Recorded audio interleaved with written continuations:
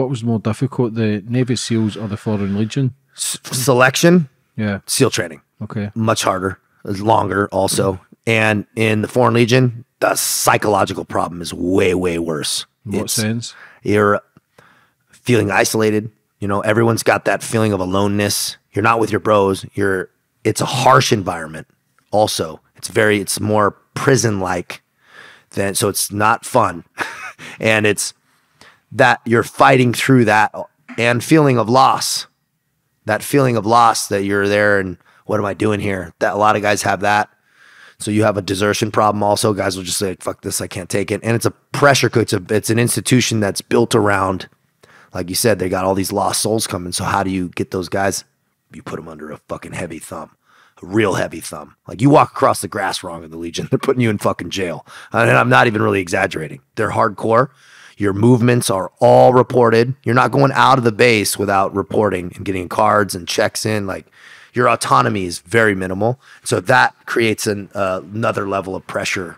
And that's all your whole contract. That doesn't end at boot camp. That's five years of that. That's that's good for you though because that's discipline that you never had away from all the bad stuff. Man, I, man, I, I didn't fucking. Well, the truth was, it was nice for the time, but after like the first year, I didn't need that. It was actually I needed more, and so I started instituting more discipline on myself. Like if they would set the wake up time at five, I would get up at three, and I'd work out in the bathroom. And I started like instant. That's when the something clicked. When I realized the only way to my salvation and my inner peace and clarity is to just fucking crush myself on discipline and just never miss. So that's what I started to do in the Legion when I started to kind of see the light. Do you regret not doing that in the Navy SEALs? I don't regret anything. Well, I shouldn't say that. I regret things in my life.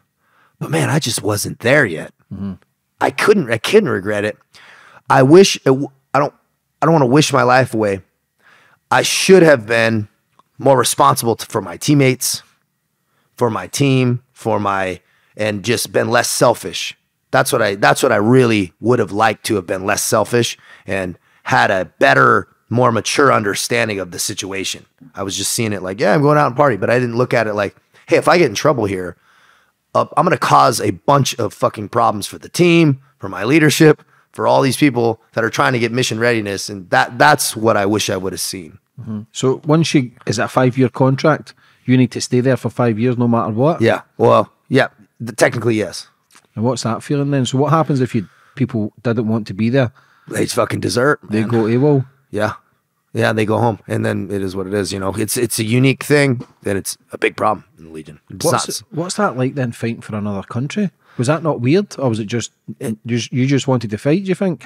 Yeah, um, I I've had moments where it's where people have posed me questions, and I was, my loyalty is to the United States, right? I mean, my loyalty is to the United States. It's just it, it'd be the UK or United States if there's an issue. So I would never have that like that conflict. You what know, happens if that if America and France went into war? I'd imagine they would have to kick you out. But what happens if somebody says because obviously you'd have been a spy or Yeah. whatever? But how would that how would that then happen? Yeah, somebody asked me that question the other day, man. I don't know, man. That that's a that's a heavy thing to think about, obviously, because you know there's those alliance ties for so long, man. I don't. I mean, they the geopolitical scenario seen in the Legion's unique because Ukraine just happened, mm-hmm. right? We have Russians and Ukrainians in the Legion, a lot. So that that wasn't, but it was seamless, really seamless. They let the Ukrainian guys go home. A lot of them went home to fight. You know, they let they gave they gave them time to go get their families and shit, and some just stayed and fought. So and then they can come back to Legion if they want. It's wild, man. That's fucking nuts. Yeah, man. So you get Russians, Ukrainians, but they're fighting for France, but yet France let them go and fight for their own country. Yeah, well, they let them go for a little bit, and some guys just didn't come back. But they're like, "Hey, you could come back if How many people's in them? How In- many people was in the Foreign Legion? it's about 8,000, 7,500. Oh, Everyone's strong, mad, kind of up for it. Man, everyone's pretty good, but it the Le- French Foreign Legion is a one-stop shop for France.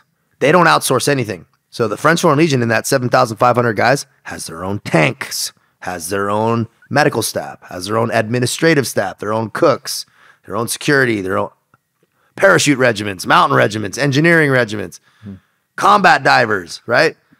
They don't outsource shit, so they need all types. They need guys slanging an A dub and guys working in the kitchen, right? So they need that whole spectrum. So not everyone's a machine of war like me, you know, or some Belarusian you see, you know, but th- so they they have a nice spread because you got guys there who just want the nationality and the money, you know, they want a better life for their family or whatever. Yeah.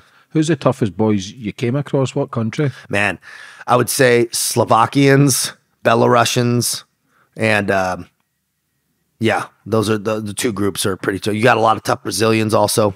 Have you? See, I always, the, the Russians and the Polish and stuff, they're just tough bastards. Yeah, They just seem that- fucking different. Yeah, the we don't have a lot of Poles. There used to be a lot more Poles, but every Pole I've met's tough as shit. And um, the Slovakians are all big and tough. Scottish. The Scot- man, we got you come across We got a yeah, we got a couple good Scots, man, and they're always funny as shit, man. good, good. no- What you want to know something interesting? Yeah. The oldest guy, the oldest guy in the French army is a legionnaire, and he's a Scottish dude. He's badass too, Yeah, bro. He's that. crushing it, bro. I think in the, in the SAS selection as well, it's the majority of the Scottish that pass. Really? So I don't know what the fuck it is. Tapped something. Yeah. Maybe fighting for years. I don't know. Yeah, you guys got that old school fucking Yeah. battle axe Yeah, genes, bro. Did you see that though with a lot of people as well, where they were brought up? You thought, okay, he's tough. What I really started to see was the guys who grew up real poor. You know, those guys have a different mindset of mm-hmm. what's tough. You know, especially you got those guys that grew up poor in Ukraine, you know, and or poor in wherever. Their their level of what is considered bad and good is different than some guy who's who's just had it easy his whole life. You know, that they're they're like this isn't bad. How long have you done now? Is it four years, five years? How Yeah, long? I'm, almost, I'm coming up on my end, my my end of my contract, man. I'm pretty much on terminal leave now. So you're allowed to speak out and stuff and do your videos. Yeah, well, You're doing it anyway. I got a little friction. Don't get me wrong. Did you? Yeah, because I thought it was going to be. So I kind of game plan. I was like, man, I want to help people. I want to get like kind of this message out. So, but I had to get right first, and I still had moments where I wasn't fucking perfect. And then I just at one time last year was like, look, I'm locking it on. I can't help anybody if I'm not 100 percent right, and it's going to be it'll show. I'm not authentic. I'm not living how I'm I preach. So then I just started to do that. Then when I was so clear and was really experiencing this mental clarity and this inner peace, and I was like, you know, this okay, I got it figured out. I cracked the fucking code. I know how to do this, and I built out a system, which I show guys. It's a daily system, but I was like, part of it, you got to get your face out there. You got to be talking, man. You got to people got to know who you are. So I push record on the camera, and I started my my YouTube. And I was like, know, probably I got some time. It won't blow up right away. It'll give me some time. So right before I get out, then then maybe I'll get some heat. It fucking blew up immediately. First video, and uh, second video got four hundred thousand views already. And it's not even like seven eight weeks, right? And I'm like, okay.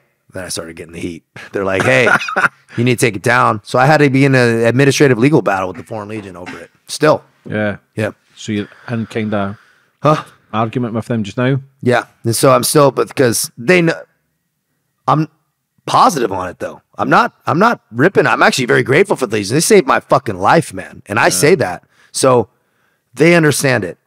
And so it's kind of just this cold war right now. They're just kind of waiting it out. I'm going to get out soon. It's all good. It's all good on the up and up because they know I'm not going to be disrespectful. And so they just like, he's not really saying anything bad. I'm actually quite the opposite.